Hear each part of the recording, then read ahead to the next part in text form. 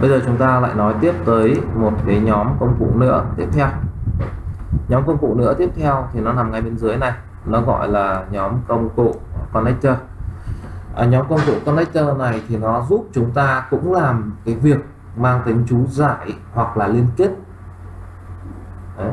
ở một cái sơ đồ nào đó ở một cái bản vẽ nào đó thì thường là chúng ta sẽ cần liên kết phần nọ với phần kia tôi lấy ví dụ như là các bạn vẽ ra một cái bản sơ đồ tổ chức của một cái đơn vị nào đó hay là chú giải về các cái bước làm của một cái quy trình nào đó. Hoặc là nếu mà nghe dân dã hơn một tí thì ví dụ như là các bạn vẽ lại cây gia phả của dòng họ chẳng hạn. Đấy ví dụ như vậy. Thì uh, những cái công cụ connector này nó sẽ giúp chúng ta giải quyết vấn đề đó. Tôi lấy ví dụ như sau. Một cái sơ đồ tổ chức chẳng hạn trong một công ty đúng không? Ví dụ đây là ông giám đốc này. Dưới giám đốc thì sẽ có ví dụ như là phòng ban nào đấy hay là phó giám đốc nào đấy này. Sau đến các phòng ban khác. Chẳng hạn như thế này. Thế thì khi mà chúng ta vẽ ra sơ đồ ngoài cái việc là chúng ta chú giải về cái, cái chức danh hoặc là cái đơn vị phòng ban nào đấy ở trong từng cái ô này thì chúng ta cũng sẽ có các cái uh, công cụ để giúp chúng ta chỉ rõ được cái mối liên kết của nó như thế nào. Thì lúc này chúng ta sẽ sử dụng đến cái nhóm công cụ connector. Thì công cụ connector này nó có ba cái nhóm như sau. Đó là cái nhóm straight line connector right angle connector và round right angle connector. Straight line thì nó sẽ cho phép chúng ta là à, kết nối theo cái đường à, thẳng. Thì khi mà chúng ta chọn cái công cụ này, kích hoạt công cụ này, thì các bạn nhìn thấy là ở trên các cái đối tượng mà hiện đang có trên bản vẽ, thì nó lập tức khi mà công cụ được kích hoạt, nó sẽ xuất hiện ra các cái điểm để mà chúng ta bắt đầu đặt các cái điểm neo vào đây. Thì các bạn nhìn thấy là giữa các cạnh, nó xuất hiện các cái điểm đỏ nhỏ nhỏ này, hình thoi nhỏ này. Và bây giờ tôi muốn kết nối cái gì với cái gì thì tôi sẽ bấm vào đây tôi kéo vào được ví dụ như là tôi kéo một đường như thế này. Đó, ví dụ tôi kéo một đường như thế này. Đây, thì các bạn thấy là những cái điểm này là điểm cho phép chúng ta kết nối. Ví dụ đây. Chẳng hạn như ông phó giám đốc một này. Đây. Ông giám đốc này, xuống dưới này hai phó giám đốc chẳng hạn nhưng ông phó giám đốc này thì quản đến hai hai đơn vị thành viên cơ. Ông giám đốc này ông phó giám đốc này chỉ quản một đơn vị thành viên thôi chẳng hạn. Đấy thì mình sẽ thông qua những cái cách kết nối như thế này thì mình chỉ rõ ra là cái nào kết nối với cái nào cái nào chịu trách nhiệm cái nào. Đấy, ví dụ như vậy. Thì đấy là cái cách thức để mà chúng ta kết nối các cái các cái, cái ờ, sơ đồ như thế này.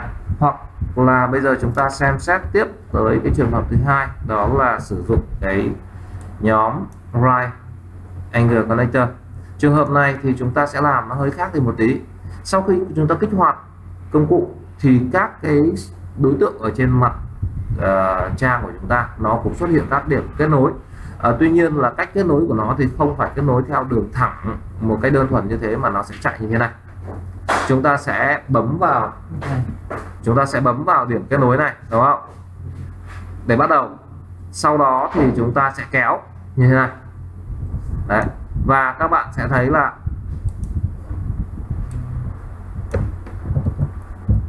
đây. Bấm này. Và chúng ta kéo xuống. Thì nó cho phép chúng ta kết nối với cái cách thức là đi theo cái đường gì đây nhỉ? Gấp khúc. Đấy. Ví dụ như này. Mặc dù có thể nối thẳng được, đơn giản, nhưng mà lúc cần thì chúng ta cũng có thể là gì đấy, đi theo các đường zigzag như thế này, thì nó sẽ rõ ràng hơn và nó dễ bài trí hơn. Tại vì nếu mà chỉ đi theo một đường thẳng thôi thì đôi khi cái sơ đồ của nó nó sẽ có rất là nhiều đường chéo, nó khó để mà thiết lập cho nó đẹp được.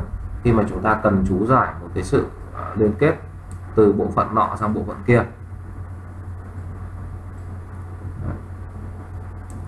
Thì đây chúng ta sẽ có cái cách kết nối sơ đồ như thế này.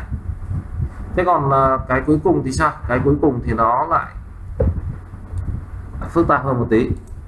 Đấy là khi chúng ta vẽ ra này thì nó bỏ tròn góc cho chúng ta?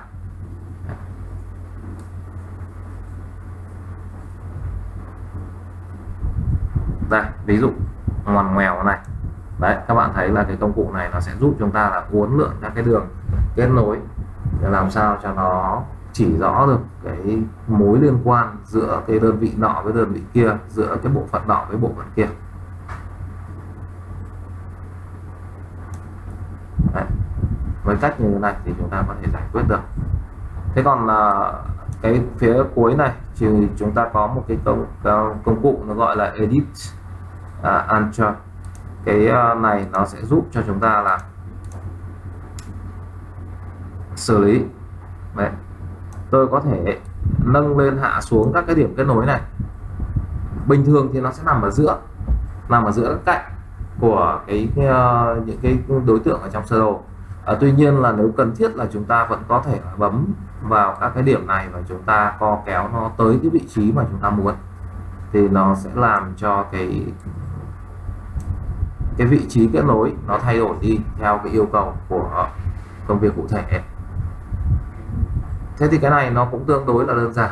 Đấy nhưng mà khi mà cần nếu như mà chúng ta không có những cái này mà chúng ta làm thủ công ấy kết nối giữa cái nọ với cái kia nhiều lúc cũng mất tương đối nhiều thì giờ. Thì đây là cái công cụ sẽ giúp chúng ta giải quyết vấn đề nó trở nên là nhanh hơn và chuyên nghiệp hơn trong những cái uh, đòi hỏi. Có một cái sự kết nối giữa cụm nọ cụm kia ở trên bản vẽ thì chúng ta nên dùng cái này.